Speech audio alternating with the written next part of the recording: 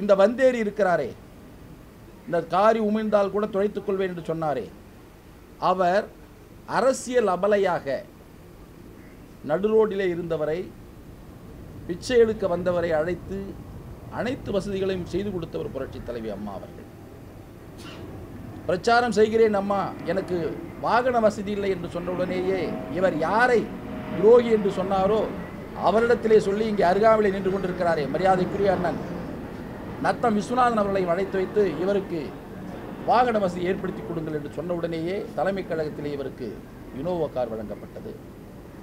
அதே போல இவர் ஒவ்வொரு கூட்டத்திற்கு செல்லுகின்ற பொழுதும் இவருடைய கருத்துகளுக்காக விலை நிர்ணயம் செய்து அந்த காசி பணமாக பெற்றுக்கொண்டார் ஒவ்வொரு கழக நிர்வாகி இவருக்கு கொடுத்திருக்கிறார்கள். அதே போல தன் மகளுக்கு திருமணம் செய்ய வேண்டும் என்று வந்தபொழுது புரட்சி புரட்சித் தலைவி அம்மா அவர்கள் விமர்சனையாக செய்யுங்கள் என்று இதே மரியாதைக்குரிய நான் ஓபிஎஸ் அவரிடத்திலேயும் மரியாதைக்குரிய நான் நத்தம் சோழத்திலே சொன்னார்கள். அவர்கள் விமர்சனமாக விமர்சையாக செய்து கொடுத்தார்கள். தன் மகனுக்கு எம்டி படிக்க வேண்டும் என்று சொன்ன உடனேயே புரட்சித் தலைவி அம்மா அவர்கள் உத்தரவு பிறப்பித்து அவருக்கு அந்த வாய்ப்பை ஏற்படுத்தி கொடுத்தார்கள். மருத்துவர் கல்லூரியில். இப்படிப்பட்ட வா ஆமாம் இப்படிப்பட்ட வாய்ப்பு வசதிகளை செய்து கொடுத்த புரட்சித் தலைவி அம்மா அவர்களையே இவர் விமர்சனம் செய்கிறார். கிராமத்திலே ஒரு பழமொழி உண்டு.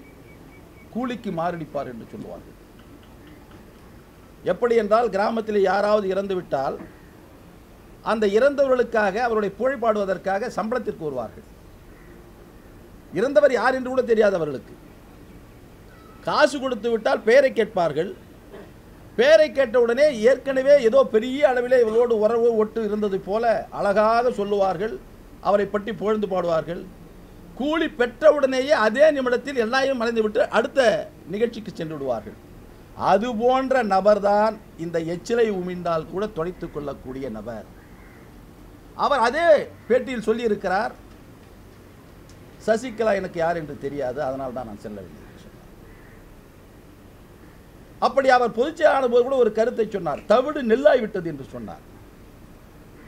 தவிடு நெல்லானதை அந்த நெல்லை தலைவராக எடுத்துக்கொண்டார் இன்னொருவர் தினகரனை என்ன சொல்கிறார் என்று சொன்னால் தமிழ்நாட்டில் இருக்கிற அரசியல் தலைவரோடு ஒப்பு நோக்கின்ற பொழுது இவர்களுக்கு எல்லாத்தையும் விட திறமை வாய்ந்தவர் மனித பண்பாளன் எவ்வளவு இந்த காசுக்கு சோரம் போயிருக்கிறார் என்பதை பாருங்கள்.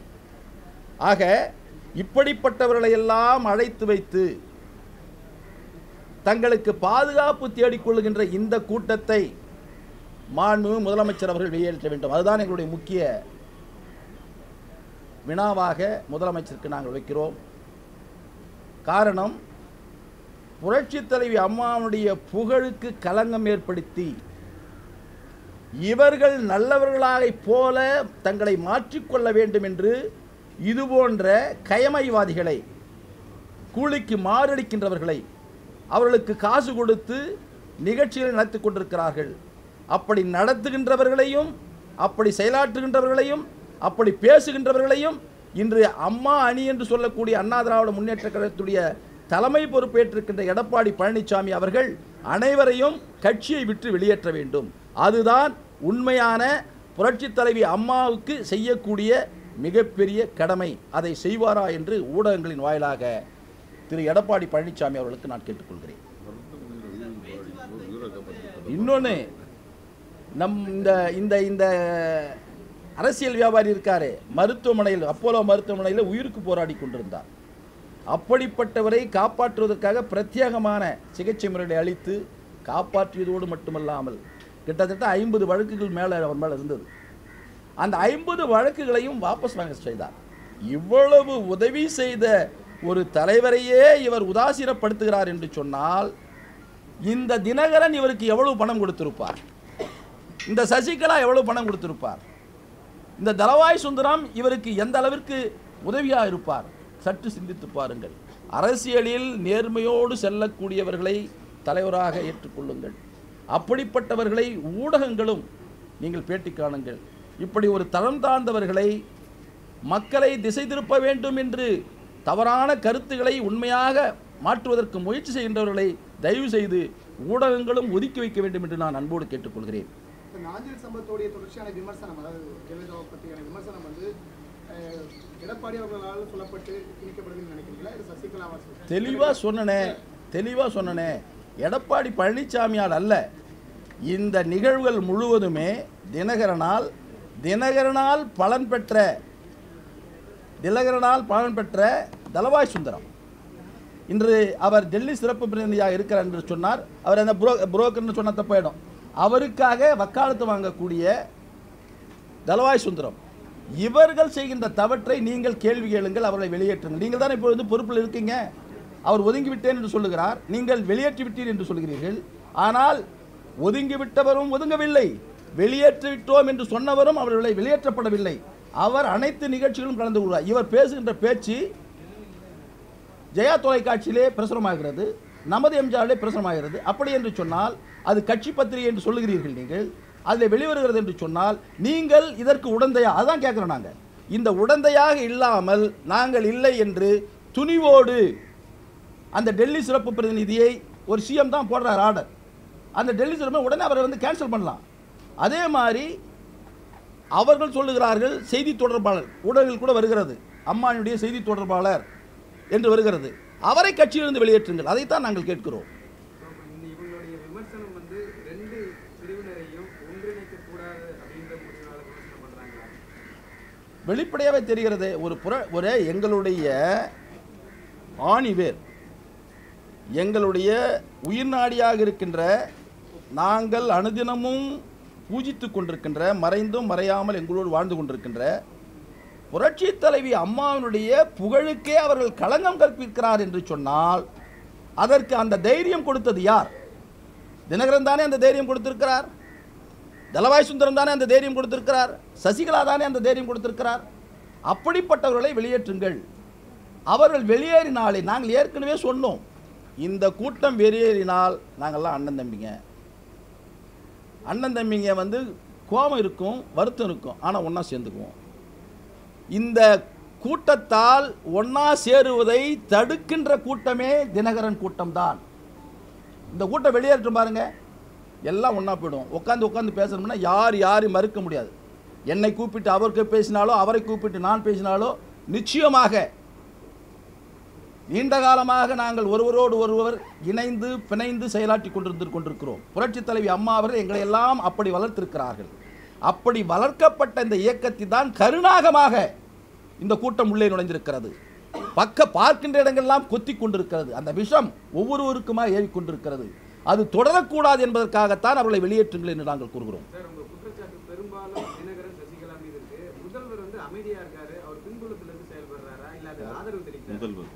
அது அவரை தான் கேட்கணும். நாங்கள் அதனால தான் வந்து சொல்கிறோம் அந்த மாதிரி ஒரு நிலைப்பாடு உங்களுக்கு வந்துடக்கூடாது. நாளைக்கு அந்த குற்றச்சாட்டுக்கு நீங்கள் ஆளாயிடக்கூடாது. ஏனென்று சொன்னால் நீங்கள் புரட்சித் தலைவி அம்மா அவர்களை புகழ்வா புகழ்பாடி கொண்டிருக்கிறீர்கள். தயவு செய்து அந்த குற்றச்சாட்டுக்கும் அந்த பழிக்கும் ஆளாகி விடாதீர்கள் என்று நாங்கள் எச்சரிக்கை செய்கிறோம்.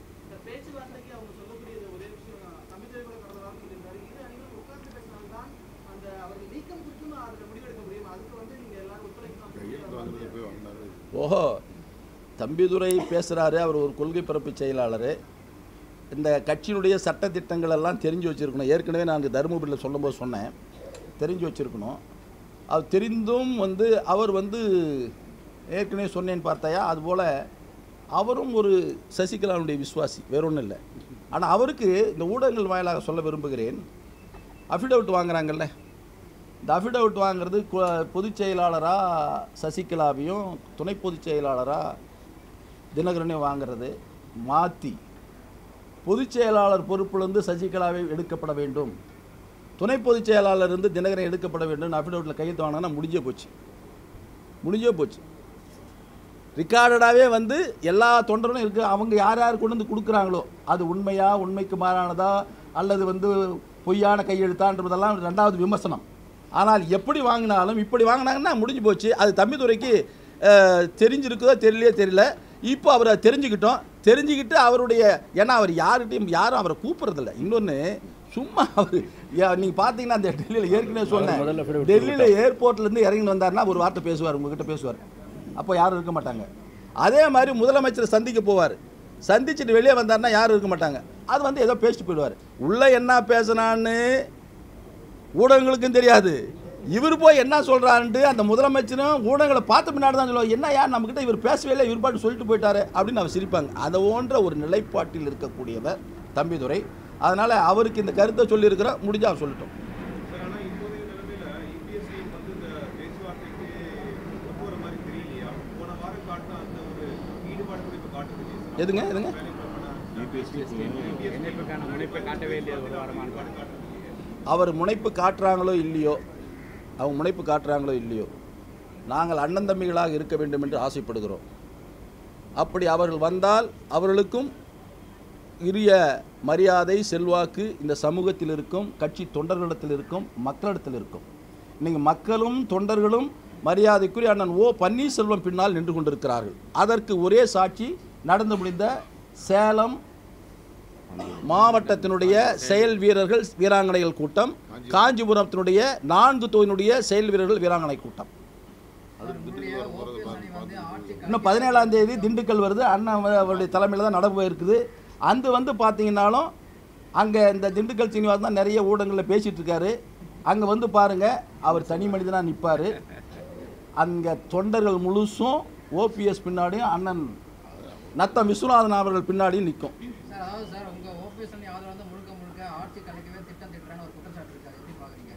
அது அந்த என்ன அடிப்படையில் அந்த குற்றச்சாட்டுன்னு சொன்னார்னா பொதுவாக பொத்தாம் பொதுவாக சொல்லக்கூடாது. பொத்தாம் பொதுவாக சொல்லக்கூடியவர்கள் ஏதோ வந்து இந்த அர அரசியலுக்காக சொல்லிட்டு ஓடிட்டு போயிட்டு இருப்பாங்க ஒரு பொறுப்பில் இருக்கிறவங்க சொல்லும் பொழுது இந்தந்த தவறை செய்து இந்த ஆட்சியை கலைப்பதற்கு முயற்சி செய்கிறார்கள் இன்னும் சொல்லட்டும். அது நாங்கள் செய்கிற தவறா அவங்க செய்கிற தவறா அப்படின்றது நாட்டு மக்களுக்கு நாங்கள் நிச்சயமாக சொல்லுவோம். விரைவில் எப்போ தேர்தல் வரும்னு சொன்னோம்? சசிகலா தொடர்ந்து இந்த கட்சிக்கும் ஆட்சிக்கும் தலைமை ஏற்கின்ற பொழுது அங்கே இருக்கின்ற சட்டமன்ற உறுப்பினர்களும் அமைச்சர்களும் அமைதி இழந்து அமைதி இழந்து பாதுகாப்பற்ற ஒரு சூழ்நிலை உருவாகி அவர்களாக வெளியேறி விடுவார்கள் அப்பொழுது தேர்தல் வரும்னு சொல்லியிருக்கிறோம். அவங்கள வெளியேற்றிட்டோம் எதுக்கு தேர்தல் வருது? நாங்கள் தான் எல்லாம் ஒன்றா சேர்ந்துக்கிறோமே.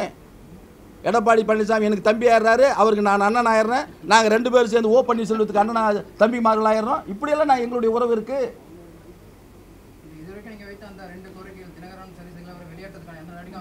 அந்த ஐந்து கோரிக்கையோட இன்னைக்கு கோரிக்கை வச்சிருக்கேன் பாருங்க. இதுதான் முக்கியமான கோரிக்கை.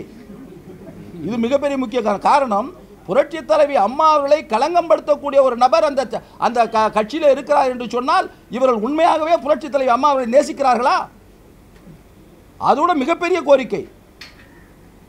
இவர் எதையும் பேசிக்கொண்டிருக்கலாம் எப்படி பேசிக்கொண்டிருக்கலாம் நாங்கள் அமைதியாக இருக்க முடியுமா? தொண்டர்கள் சும்மா இருக்க மாட்டார்கள். ஏதோ இவர்கள் பேசுகிறார்கள் மேடையில் பேசிக்கிட்டு வருகிறார்கள். தொண்டர்கள் அமைதியாக இருக்க மாட்டார்கள். ஏனென்று சொன்னால் புரட்சி தலைவி அம்மா அவர்களை தெய்வமாக நினைக்கக்கூடிய லட்சக்கணக்கான தொண்டன். எங்கேயாவது போனான்னா ஏதாவது ஒன்று ஆச்சுன்னா கடைசியில் இவங்க எங்கள் மேலே தான் பழி போடுவாங்க. ஆள் வச்சு அடிச்சிட்டாங்க அது வச்சு அடிச்சிட்டாங்கன்னு இவர் தான் தோன்றித்தனமாக கை நீட்டினத்துக்காக விசுவாசத்துக்கு பேசுகிறார் சாகர மட்டும் அவங்க ஏழு பரம்பரையும் புரட்சி தலைவி அம்மா புகழ் பாடணுமே. அந்த காரி மூஞ்சா தொடச்சிக்கிறமே. அந்த நிமிஷமே மறந்துட்டானே அந்த இரண்டு அணிகளும் இணைவதற்கு வந்து ஜெயக்குமார் திண்டுக்கல் சீனிவாசன் இல்ல தலவாக்கல் மோகன்ல இரண்டாம் கட்ட தலைவர் வந்து முட்டுக்கட்டே ஆச்சாங்களா இல்லை இப்போ இரண்டாம் கட்ட தலைவர்கள் முட்டுக்கட்டையாக இருப்பதை விட முடிவெடுக்கின்ற நிலையிலே இருக்கின்றவர்கள் சுயமாக சிந்தித்தால் நிச்சயமாக முடியும். எங்களை கூட இங்கே சொல்கிறாங்க நாங்கள் முட்டுக்கட்டையாக இருக்கிறோம். முனுசாமி முட்டுக்கட்டையாக இருக்கார். மைத்திரன் முட்டுக்கட்டையாக இருக்கார் அதில் எங்களுடைய தலைவருக்கு தெரியும். நாங்கள் முட்டுக்கட்டையாக இருந்தால் அவர் ஏற்றுக்க மாட்டார். அவர் ஒரு பண்பட்ட அரசியல் தலைவர். இந்த இயக்கமும் கட்சியும் ஆட்சியும் புரட்சி தலைவருடைய அம்மாவுடைய புகழும் காப்பாற்றப்பட வேண்டும்ன்றது தான் அமைதியாக இருக்கார்.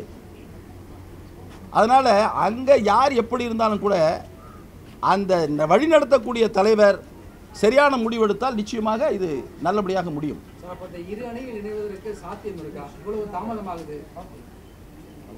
நீங்கள் தாமதந்து வந்து முன்னிலைப்படுத்திட்டு உட்கார முடியாது. இது வந்து இவ்வளோ பெரிய பிரச்சனை இருக்குது. நாங்கள் எல்லாத்துக்கும் தயாராக இருக்கிறோம். தயாராக இருக்கிறதுக்கு வந்து இப்போ ஒரு கோரிக்கை வச்சுருக்கோம். இது வந்து ஒரு நியாயமான கோரிக்கை. இது செய்யக்கூடிய கோரிக்கை தான் செஞ்சு முடிக்கக்கூடிய கோரிக்கை தான். இது ஒன்றும் வந்து அவங்களுக்கு சிரமமான கோரிக்கை கிடையாது.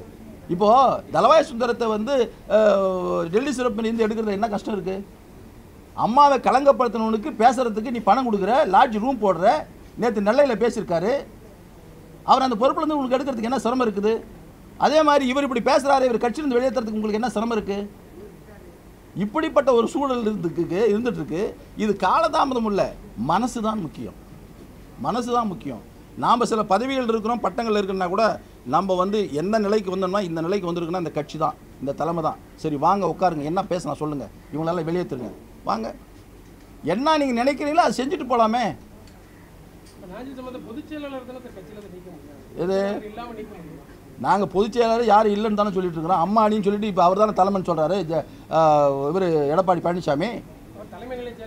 இப்போ அவர் தலைமை தானே அவர் தானே சொல்கிறாரு அவரை தானே எல்லாரும் போய் கேட்குறீங்க அவர் தானே செய்யணும். அவர் ஜெயிலில் இருக்கிறவங்கள போய் இதுக்கு என்ன இதுக்கு கேட்டுக்கிட்டு இருக்கீங்க? அப்போ அம்மாவை கொ- விமர்சனம் பண்ணிட்டு ஒரு தாள் ரோட்டில் சுற்றிட்டு இருக்காரு. அதை பா வே- பார்த்துட்டு வேடிக்கை பார்த்துட்டு இருக்காரு எடப்பாடி பழனிசாமி.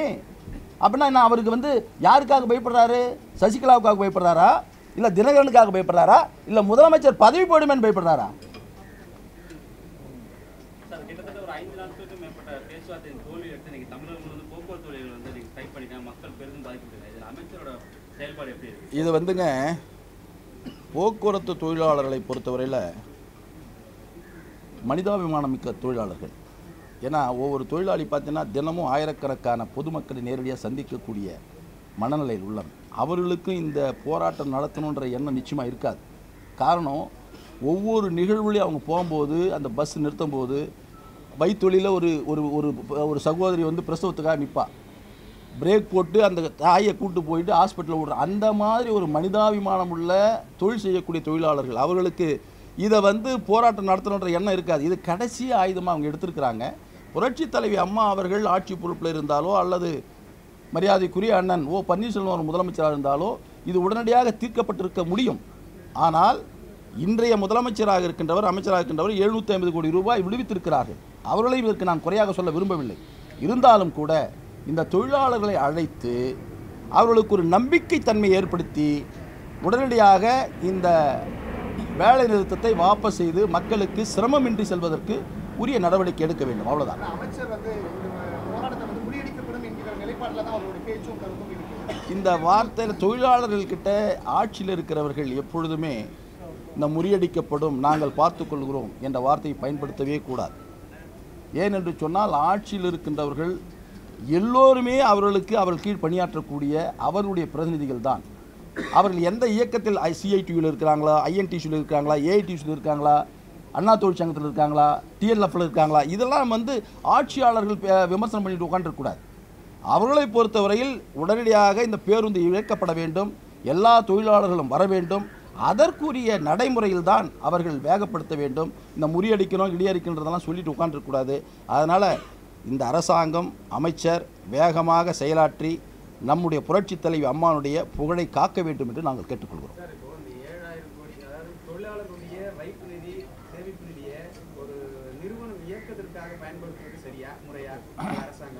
இது வந்து நீங்கள் கேட்குற கேள்வி வந்து தொழிலாளர்கள் வேலைக்கு திரும்பணுன்றது தான். இது அதுக்கு பின்னாடி அதுக்குள்ளே ஏன் நுழைஞ்சிட்டு போயிட்டு இருக்கிறீங்க அது தேவையில்லை. இப்போ நமக்கு இந்த ஸ்ட்ரைக்கை வாபஸ் வாங்கணும். இந்த ஸ்ட்ரைக் வாபஸ் வாங்குறதுக்கு அரசாங்கம் நடவடிக்கை எடுக்கணும்.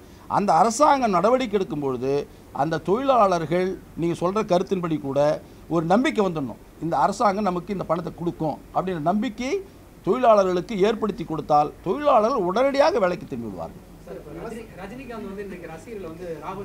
இதெல்லாம் சம்மந்தம் இல்லாத கேள்விங்க. இல்ல இதெல்லாம் இதெல்லாம் இதெல்லாம் அவங்க ரசிகர்கிட்ட போய் கேளுங்க. இல்லை இல்லை இல்லை. அவங்க ரசிகர்கிட்ட போய் கேளுங்க. நம்மகிட்ட ஏங்க அவர் அரசியலில் இல்லை அவர். ஒரே நிமிஷங்க. அரசியலில் அவர் இல்லை. அவரை போய் அவர் பெரியவரை போய் நம்மள என்னத்துக்கு எங்க விட்டு என்னத்துக்கு இழுத்து விட்றீங்க? கொடுங்க. போலாங்களா? ஆ?